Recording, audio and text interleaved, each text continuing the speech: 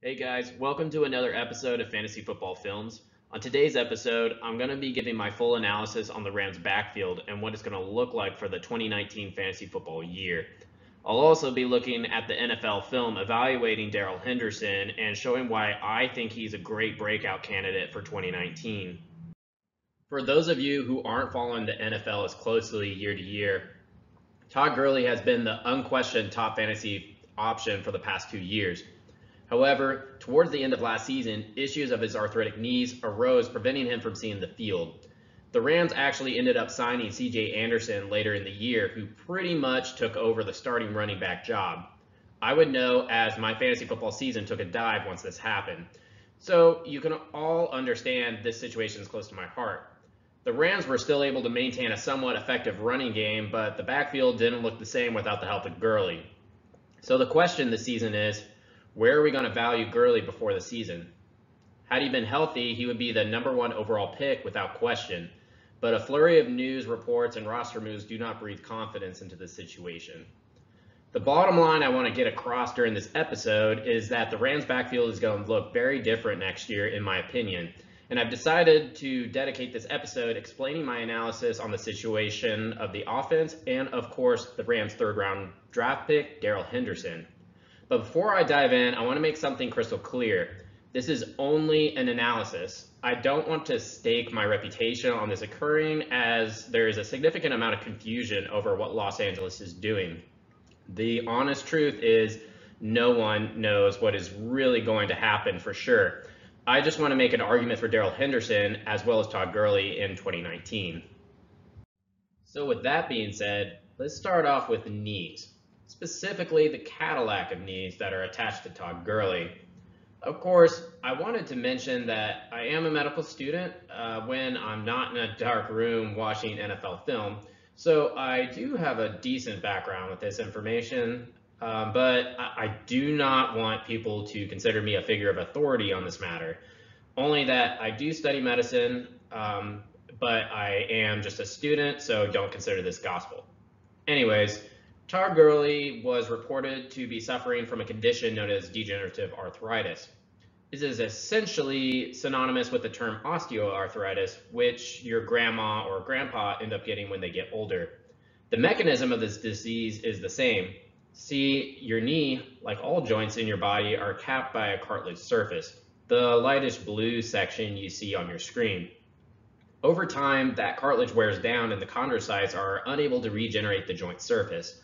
That means that you will have bone on bone friction, which can end up being fairly painful with movement.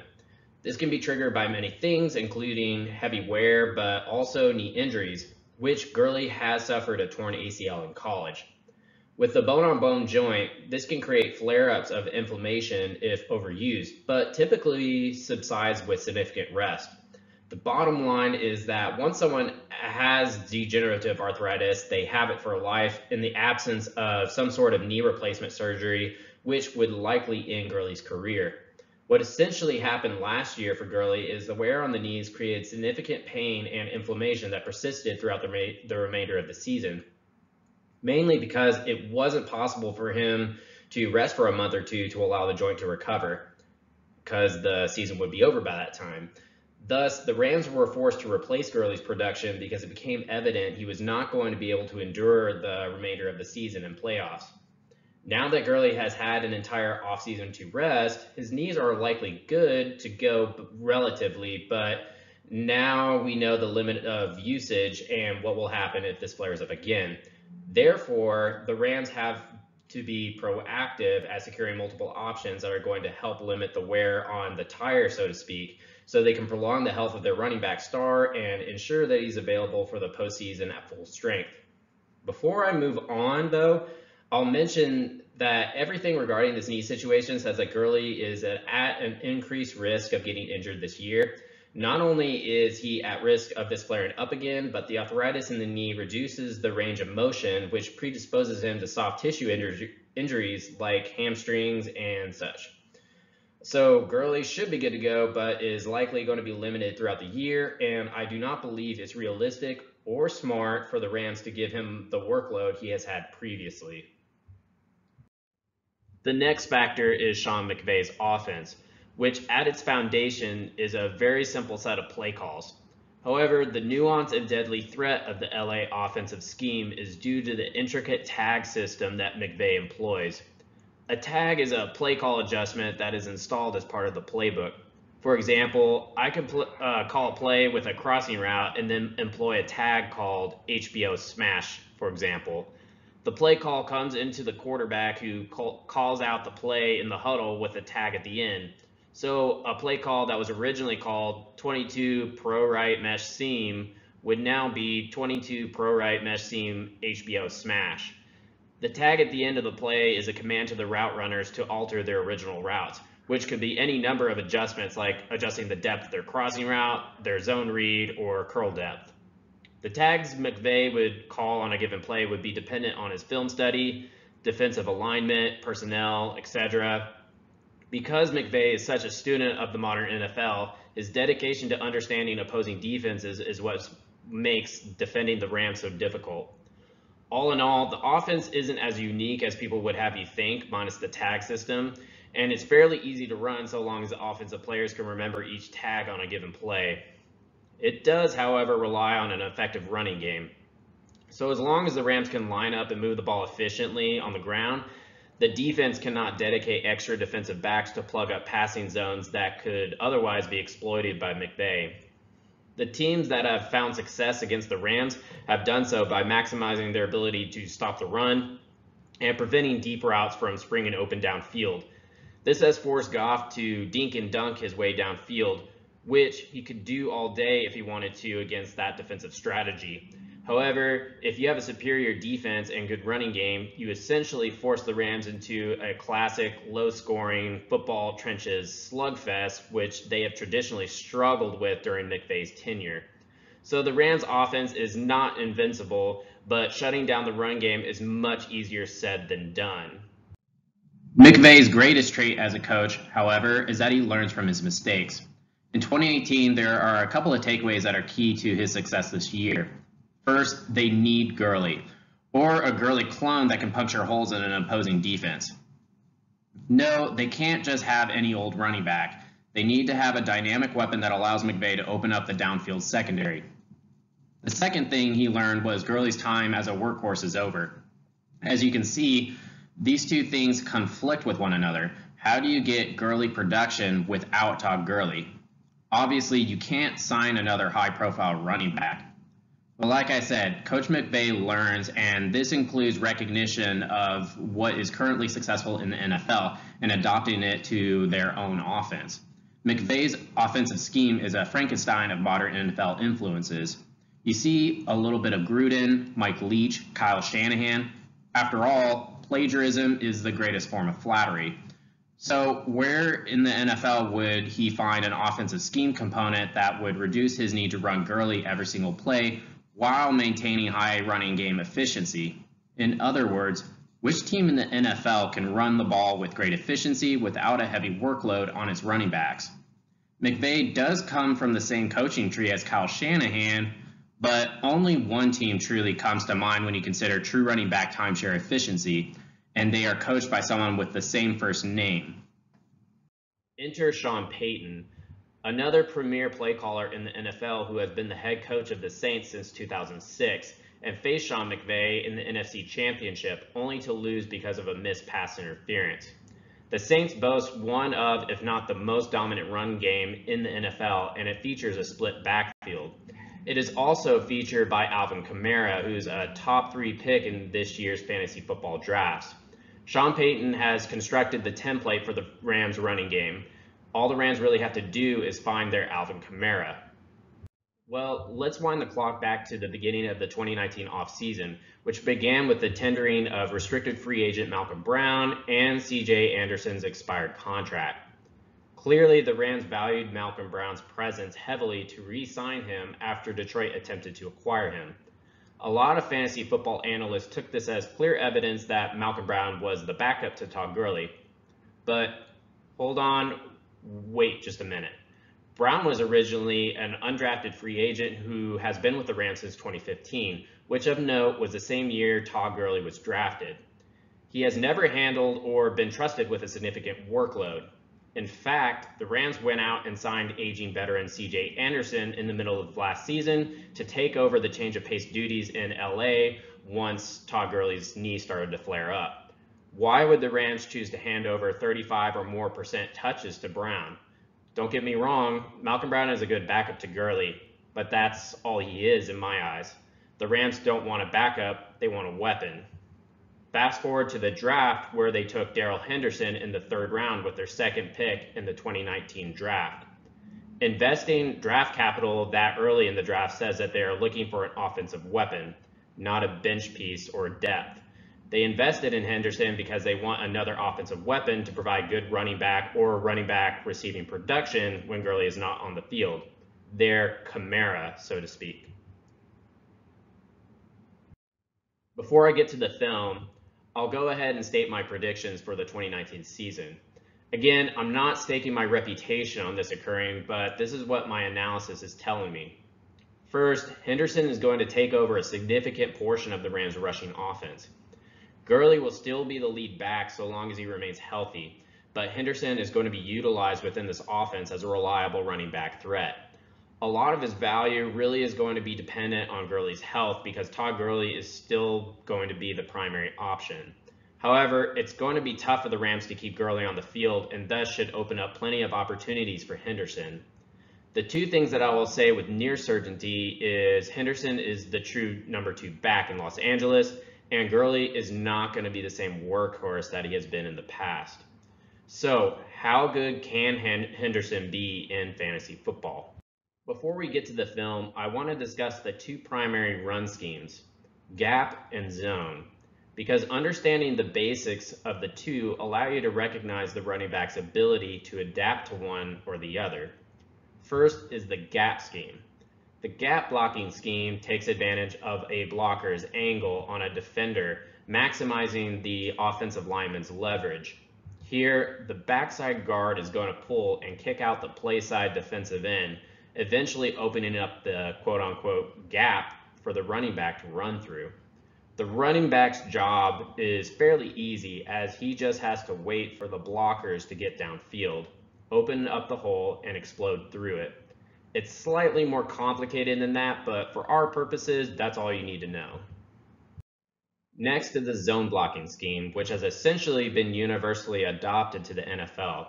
Instead of the lineman blocking a particular defender, the offensive line is responsible for blocking a particular zone.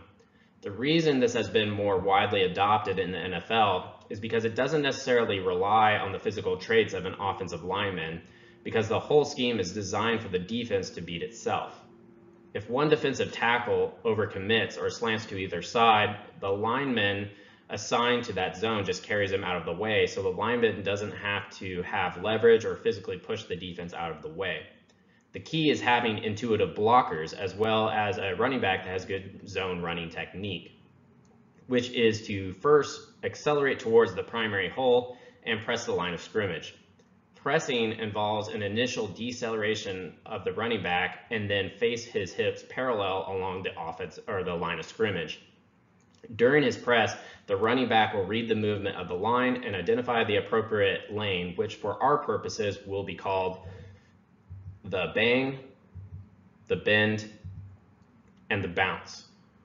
If the play side defensive tackle slants towards the bang running lane, the center just carries that tackle to the right out of the zone. The running back will read that the defensive tackle is being carried to the right and then bend his running lane over the backside hip of the center where the running lane will inevitably develop. Again, there's a lot more nuance with zone running schemes, but so long as you understand that it involves intuitive linemen, the defense beating itself essentially, and the running back isn't reading one particular hole, you understand it enough for me to discuss Darrell Henderson who comes from a gap scheme in college. He has been criticized for struggling to learn the zone scheme that is being run in LA, but I believe this is uh, incredibly overblown. Not that running backs don't struggle to make that adjustment, but I believe he's still an effective running back. A couple of videos of him early in training camp don't really create an accurate picture of him as an NFL player. Our first play, as all three plays of this episode, is from week three preseason game against the Broncos. I wasn't able to get a hold of the coaching film for this episode, so the angles are not as good, but I still thought it was adequate to prove my points about Henderson. The Rams are running a weak side zone with Henderson in the backfield. I will note that this is not the starting offensive line for the Rams, and they are facing off with multiple defensive starters for the Broncos. I'll stop it here to show that the majority of Broncos are slanting to the main play side of the line. I will also draw up the bang, bend, and bounce running lanes. Because the Broncos are shifting towards what would be the left side of the offensive line lineman, the blockers will have leverage on the defense's right shoulder. So the appropriate read for Henderson is to bend his run back to the right side of the line. On this play, Henderson was only able to get five yards, but that's really a product of the blocking talent not being starters. Even so, five yards on a given run play is still pretty productive. I do think Henderson is not as consistent as of yet at reading zone runs, but he is improving week by week. The next play is a classic inside zone run to the right. Henderson receives the handoff and as he begins pressing, identifies his offensive lineman being blown up into the backfield. Ideally, this would be the point of leverage for the running back to run along the strong side hip of the lineman and accelerate into the would-be running lane. However, Henderson shows that he is indeed attempting to read his lineman who is just trying to press his defender out of the way. The lineman really isn't allowing the scheme to do its job. Ideally, the lineman is going to shift his hips in one direction and carry the defender into the backfield out of the running lane. However, Henderson doesn't really do him any favors. He is indecisive and crashes directly into the defender rather than cutting into an appropriate running lane.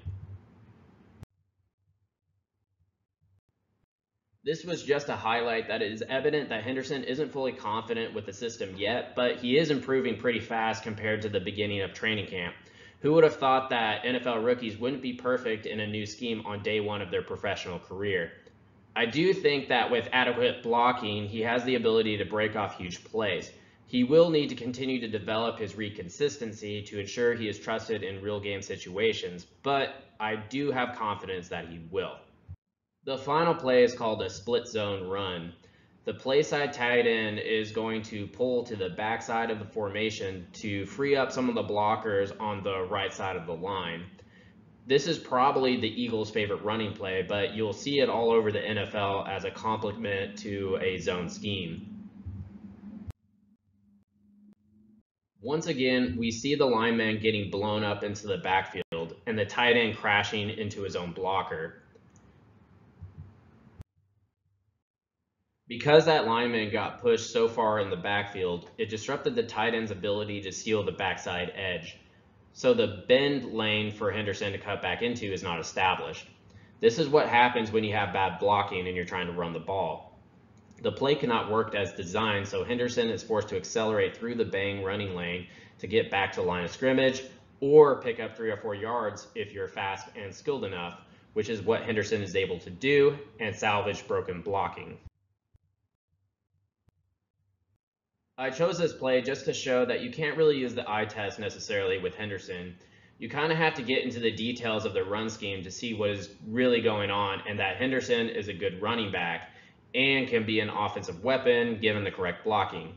A statement was made on the broadcast that Henderson needs to be able to create big plays even with bad blocking, which is partially true, but difficult when you're only given the ball five or six times on a given week.